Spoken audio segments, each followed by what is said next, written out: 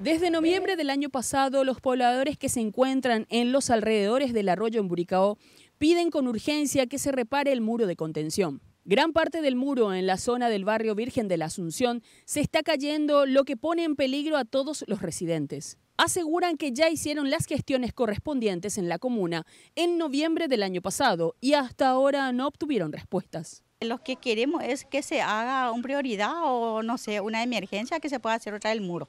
Eso es lo que yo pido, porque este se va a ir devoronando. Y se perdió ya la casa ahí y el baño va a caer todo y otra pieza más que tiene todo ya grieta. Ese ya vaciamos luego ya. Cuando el muro empezó a gritarse, ¿ustedes ya avisaron a la municipalidad? Cuando tenían grieta hace ya cuestión de un año. Está jugando con la vida de todo. Porque imagínate si alguien estaba en esa pieza, que se devorone, que se derrumbe toda esa pieza. Se iba a caer y se iba a ir todo allá. Ese es el problema. Y yo creo que es una burla lo que ellos hicieron esa vez y sigo diciendo que la municipalidad no hace caso.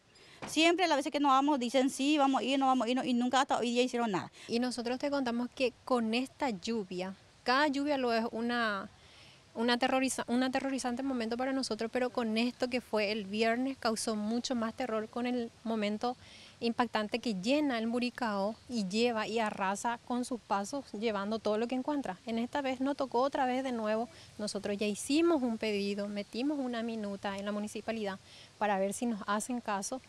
Y sin embargo hasta ahora pasaron seis meses, en noviembre se cayó nuestro muro, de los cuales de a poco cada lluvia va arrasando y va llevando más, va comiendo nuestro gran parte de nuestro terreno. La construcción del muro de contención que bordea el arroyo en Buricao aún no supera los 10 años. Sin embargo, el mismo ya se encuentra en vía de derrumbe. Los muros, los muros de contención ya eh, no tienen más resistencia al agua que viene.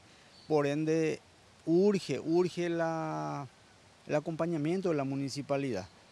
Y ese es el motivo del reclamo de los vecinos. A medida que aumentan las lluvias, el nivel del arroyo también lo hace. Es por eso que los vecinos solicitan con urgencia una solución antes de que esta situación se cobre una víctima fatal.